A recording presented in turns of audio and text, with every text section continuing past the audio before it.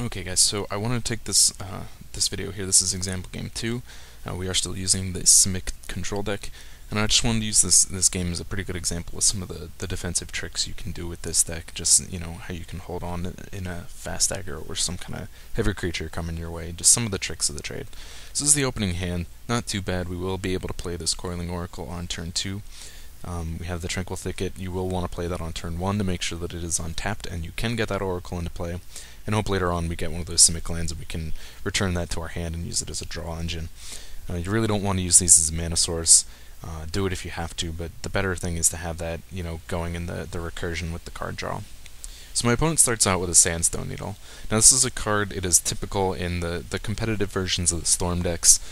Um, there are some that use other lands, but it is definitely something you see with that something to keep aware of. Um, you won't always see that in the casual room. You will sometimes, but most often in the casual setting, it will be used for kind of a red deck wins scenario, goblin, something like that. Uh, they'll use something like the sandstone needle so they can use less mountains and bring in more red weenies. But not going to be a big issue. We do have a spreading seas in hand, and we can take care of that as soon as possible.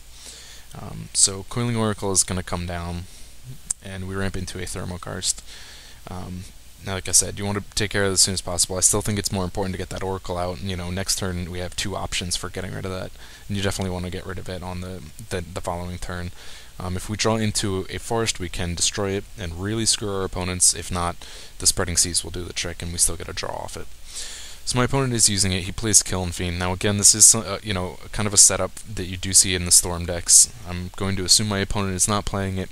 Um, if he is, you have a lot of options here. So Kiln Fiend, a lot of the times you will find in the red-blue decks is they use the blue as a draw engine and red to kind of ramp mana and continually play a whole bunch of little spells. You can pump up the Kiln Fiend to about a you know 20 power and swing through for the win. Now I have been beaten on this on turn two in Pauper. Um, it is a pretty powerful thing. Right now we're sitting pretty good. We have the Coiling Oracle, so we can chump block if he tries to do that. Um, he probably will at one point in time pump it up to maybe a 10 or just you know a really big number try and force me to chump block so that he can clear sorry he can clear my oracle out of the way and then pump it the rest of the way and finish me off. Uh, what he doesn't know is we do have vapor snag in hand. Um, you kind of want to hold that. You can use it uh, keep mana open every possible time. Um, you see here I, I, did not draw the second forest to play Thermokarst but even if I did I would use the spreading seas to get rid of the needle um, this allows you to keep that min open for Vapor Snag.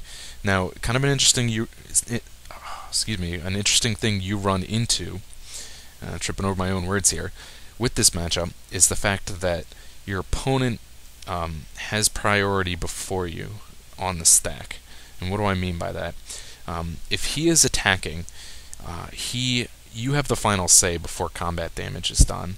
Um, you know, when it comes to him, if he does not take the opportunity to pump this Kiln Fiend, then he's only going to get through a one or two. If he plays any spell to pump this, you're going to have the second reaction to that. So, you know, say he plays, you know, even a, a Ponder, something like that. Oh, I'm sorry, Instant Speed. You know, it would be a Brainstorm. Um, if he plays that, Kiln Fiend and all goes on the stack. Now, you have the chance to respond to that. Um, and you know, at that point in time, if you feel that he is too big for you to handle, then you can cast Vapor Snag. So anything he does to pump that, you will always have the second move. You will always be able to react to it. Um, that kind of makes Vapor Snag a, a great thing in this scenario.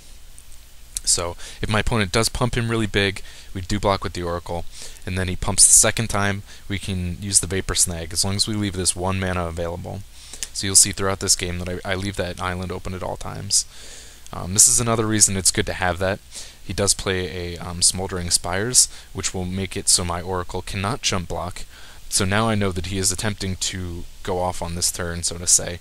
Uh, his he is using the mutagenic growths. This is a great card that was added. He doesn't have to run green mana. He can play this for only two life, and that will um, pump the Kiln Fiend 2-2, and it's also getting the 3-0 off the ability. So, you know, once I can take it, you know, like that's not so bad. He's going to be at, you know, 7 now. This will bring him to um, 9, 11. Um, at this point in time, that's going to be a bit much. I don't want to take that much damage. That's going to put me down to 9 life, and I'm going to be sitting not so great. So I will, you see, I have the priority before any of these things complete the stack. Um, and I will be able to cast the Vapor Snag after he attacks um, to prevent myself from going down to 9 life. Now, if it was something like 7, you would have that option. Um, I might take it to go to 13, but I think going down to 9 is just a bit too much for a deck that's running red. You know, they could have any any number of um, burn spells in there that you really just don't want to be a part of. But another thing to, to remember now, um, that is returned to his hand, you do have the ability to Rune Snag. If he attempts to play this on his next turn, without dropping a fourth land, you will be able to cast this first Rune Snag. Um, let's open the graveyard while I say this. Um, you will be able to cast that first Rune Snag and prevent him from playing it, since he will only have one open mana available. Um, I always say the first Rune Snag is not as great because it's only two, um, but we do have that option anyways. Now you see here, um, before I drop a land, I am going to cycle the sandbar in hopes of, you know, maybe getting a forest. Now, if I get a forest at this point in time, let's let's ignore the fact that I didn't. But had I drawn a forest there, I would have had the option. I would have been able to play Thermokarst. I would have more than happily tapped out to destroy this red land. Um, that gives me the opportunity that he will miss the return drop on his Kiln Fiend. Um, he would have to top off a mountain or have it in hand to be able to get that Kiln Fiend into play. So, had I drawn a forest, I would play the Thermokarst. I would get rid of this red mana source. Um, I didn't, but that's why you know you want to make that play. You want to cycle this before making your land drop, just to see if you do get that card. So I'm going to just play an island swing for two with the Oracle. Um, and I, I, have the mana open to attempt counterspell. If he does play a fourth land, um, like he does here, I will not be able to use a Rune Snag, and I have two choices. I can either attempt to Rune Snag, uh, that will force him to tap out these last two lands and have no other play, um, the Kiln Fiend will still come into hand and it will start the ramp on my Rune Snag. Um, that that is one option you can go. Uh, you can also attempt to draw cards. At this point in time, I figure I have the Oracle. I'm okay to chump block a little bit. Um, I still have the option to destroy his red mana source, which will um, slow down a lot of his burn spells. When you come to this deck, a lot of the, the low-costed spells are in red, so you want to be able to lock down that red mana as soon as possible. Um, so I will let that go. I will draw off the accumulated knowledge at the end of his turn, though. So uh, you see here, I did get the, the forest I need. I ended up into a, a new Thermokarst. Um, I can tap out to play one of these and destroy that red mana source, and I still have mana open for a Rune Snag if I catch him um, casting with less than 2 mana open. Um, and we have the, the Thermokarst, the second one in hand. We can use that later on if he drops a new red mana source. Like I said, that's really what I want to lock down at this point in time. Um, he plays an island, so I'm going to not block with the, the Coiling Oracle. Um, I, am just going to take that chance being at 20 that he's not going to have, you know, he, he could have had two more growths in his hand and we could have been sitting in a not so great position. Um, but, you know, I'm, I decided to take that gamble. When he's sitting on only blue, he's not got a lot of options for instant speed. Um, if it was blue that he was casting, it's going to be like the, the brainstorms at those low mana costs. So this turn, draw a Oracle. An Oracle? An Oracle. Um, we'll play that and see what we get. Let me top into a new Vapor Snag, so that's really great. Now we're sitting pretty. Um, we have two chump blockers for the Kiln Fiend, so he cannot just play a land to prevent my blocking. Um, I, I, will be able to still chump block, and I have the Vapor Snag in hand to handle that Kiln Fiend. And at this point in time, he's really, you know, his deck may not be totally screwed, uh, you know, assuming most good decks will have a, a, secondary plan, but if his main focus is, you know, the Kiln Fiends, as it may be in the casual room, then I'm sitting pretty good. I have the, the two extra counter spells in hand. I have the Vapor Snag, and he's got no red mana. So you know this is this is pretty well in my favor at this point in time. Um, he's going to attack. I'm not going to chump block. Um, like I said, anything he plays to pump that, I'm going to have second priority, and we'll be able to cast the Vapor Snags to kill it. Uh, so you know he's going to just swing for one, knowing that I can do that. Now we, we do luck into our Simic Growth Chamber. We can play that. Now when you do it, just make sure you see here before um, this you know goes onto the stack officially, uh, that triggers and in response you're going to tap this land for the green mana. This way you do not have to tap your your other green mana source. If you tap this green, you're losing one mana, so you might as well you want to tap this so that when that's returned to hand, you can use the mana that it produced to cycle itself. Um, is more more or less the way that's going to go. And this does net us a new oracle. We're of course going to play, and we're sitting good again. We have another chump blocker. Um, at this point in time, you could uh, leave two oracles open to block and kill the fiend. Um, unless he plays a growth, the uh, triggered ability on the fiend only bumps up his attack power. So you know it's it's going to need a growth to save it from two oracles. Um, you see we review, revealed a Drake. Um, we're going to now use one of these oracles to block at every opportunity possible. At this point in time, I'm going to attack with two. He's going to think that he is free and clear to attack. Uh, hopefully he makes the mistake is what you want at this point. You want him to attack so you can chump block and you can get this Drake into play. Um, if he does, you know, have a land to stop it from blocking, you have the Vapor Snag. You also have a Rune Snag in hand to kind of, you know, match any any issue that may arise. Um, so we see here he does make the mistake. He does attack with the Kiln Fiend, um, allowing me to chump block with the Oracle. Um, the Oracle will die, and now I will be able to play the Drake on my following turn. See, I also get the Cartographer. Um, that's going to be great because we have a sandbar and a thicket in hand. Let's get rid of that. Um, so I will be able to bring those back and cycle them. Uh, at this point in time, I you know swing with these two. Um, you have the option you can leave this mana open and play defensive, so that you have uh, a counterspell ability, um, or you could attempt to play the the cartographer. He still knows that you have the vapor snag, so you don't really you know gain anything from that. Um, if he did not know you had the vapor snag, you could play the cartographer um, and then he would realize you had it if you did not cycle the Lonely Sandbar. Um, if you leave one blue mana open and do not cycle the card that he knows you have to cycle, then he's going to know that you have some other option, whether it's a Vapor Snag or a Force Spike. So just something to keep in mind uh, when you're playing this deck. Um, you know, you just want to be aware that that he's going to know if you do not cycle it. So you know, when you play the Cartographer, expect to cycle it unless you are tapped out. Um, you know, or else he's going to know you have something else in hand to play. Uh, it's always, you know, a gamble. It's like playing poker. You want to kind of bluff your hand a little bit. Um, the less they know about your hand, the better off you are. That's that's kind of why I hate seeing the the pro over cards that let your opponent to see your hand because that really puts you at a disadvantage. Especially, you know, I like to play a lot of control and, and counter control and stuff like that. And that's that's a real drawback. So we drew a spreading seas. We're sitting pretty good. Um, he plays this stream hopper. Uh, he can use that to chump block the Drake at some point in time.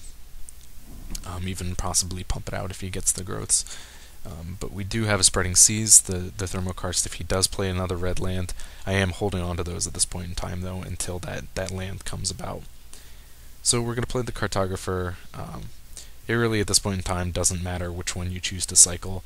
I do choose um, to get the Thicket, uh, so I can leave all three blue mana sources open. It honestly wouldn't matter because the rune snag costs one and a, a blue, um, and that colorless would allow you to use it.